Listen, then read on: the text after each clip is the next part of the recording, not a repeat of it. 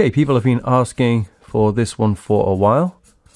So here it is. Let's talk about the op amp or the operational amplifier. What it is is a component made out of a couple of transistors and a few resistors that takes an input voltage and amplifies it but it's an incredibly versatile component. And it's called an operational amplifier because these can be used to do actual mathematical operations. These were actually the backbone of the very first analog computers. And they can be used to do all sorts of things, including integration, which is pretty crazy. This is how the component is drawn here. What we have are two inputs, and they are given the symbol plus and minus. So these are our inputs. You can just call these positive and negative inputs, but sometimes you might see them called the non-inverting input and the inverting input. And we'll get on to what that means in a bit. This is our output here. That's where the amplified output comes out of. And in order to take an input and amplify it, we do need a power supply, as it were.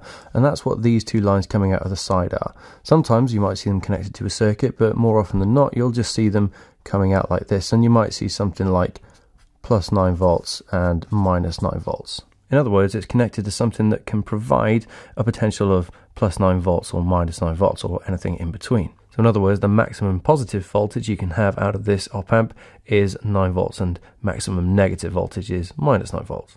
So just because you have a plus here and a minus here, that doesn't mean that you always have a positive voltage going in here and a negative voltage going in here. No, what the op amp does is take the difference between the two voltages going into these two inputs and it amplifies that. So we can say that the output voltage is equal to the difference in the inputs and it times it by this amplification factor. So let's say that the input going in here is 5 volts and going in here we have 2 volts. That means that the difference in input is going to be 3 volts. So what the op amp does is take that 3 volts and amplify it by this factor here. However, here's the thing is that this amplification is generally something like times 10 to the 6. So whatever difference you have between the voltages, an op-amp will usually amplify it by a factor of millions. So let's say we take our 3 volts there, and then times 10 to the 6, well, we'd have an output of 3 million volts. But we know that we've only got this maximum plus 9 volts or minus 9 volts available. So that means that obviously I'm just going to get this value out here. So because the amplification factor is usually so big, that means that the output is nearly always saturated. So in this case, we'd either get plus 9 volts or minus 9 volts out of the output. In order to get anything in between plus 9 volts and minus 9 volts, we'd have to have such a small difference between these that it's very, very unlikely. So we assume that in every single case with an op amp that we have an output that is saturated. So we can say that the output is definitely going to be this or this. So you probably figured this out, that if the difference is negative, and that's because the minus input, the inverting input, and you can maybe see why it's called the inverting input now because it's swapping it from plus 9 to minus 9. Minus input is greater than the positive input. So what kind of circuit can we use this in? Let's have a look. Like I said, op amps can be used in all kinds of different situations, but generally in your exams you'll see them being used with potential dividers. If you haven't seen my potential divider video, then click on the link in the description and it'll take you to that.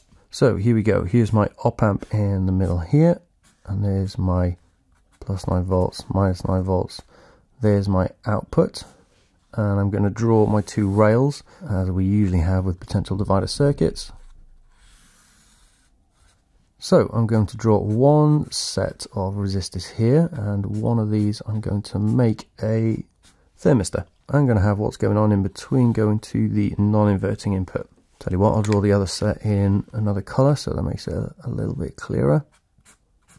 And then we just have two more fixed resistors there.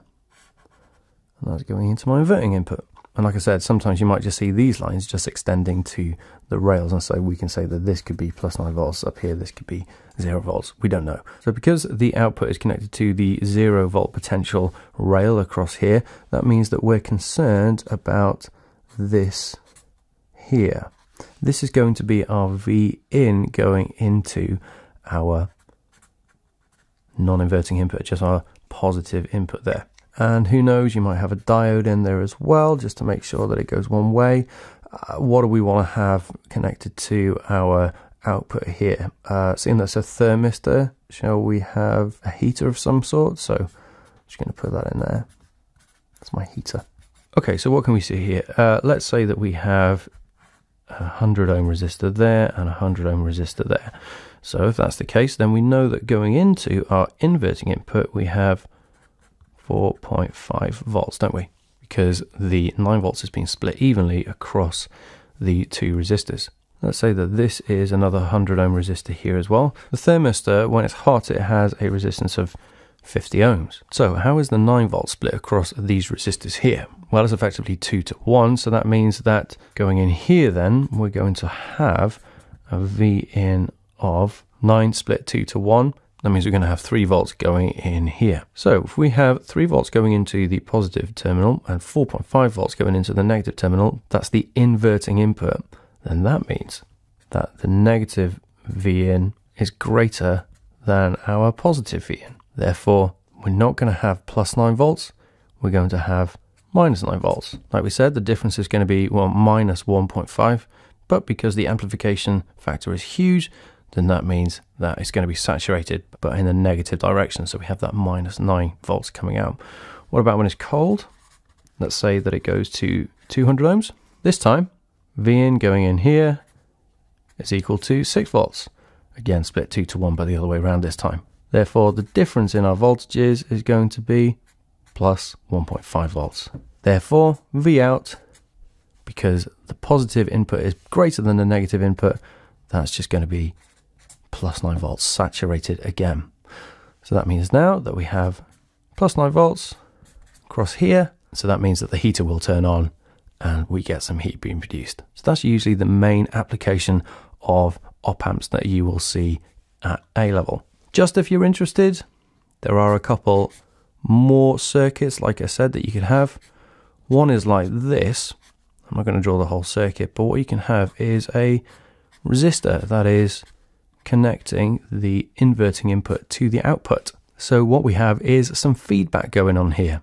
What happens in this case is that if the V in gets bigger, then that means that because of this feedback resistor here, that feeds back into the inverting input.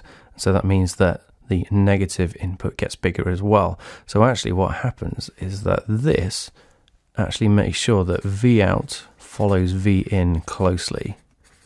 You might think that's a little bit pointless, but it does have its uses. And if you really want to know, we've also got the integration circuit, integration op amp circuit. Instead of a feedback resistor, we have a capacitor that links the inverting input to the output. Oh, I got that the wrong way around. Basically, what happens is that the V out will increase the longer there is an input voltage going into the non-inverting input there. That's because as current flows out of the output, it charges the capacitor and this reduces the amount of current that can go into the inverting input. So that means that the V out increases over time. And so because it is dependent on time, you can use that to do integration. That's op amps. I hope I've covered everything for you guys. If there's anything that you think I missed or if you have any questions, then pop them in a comment down below and I'll see you next time.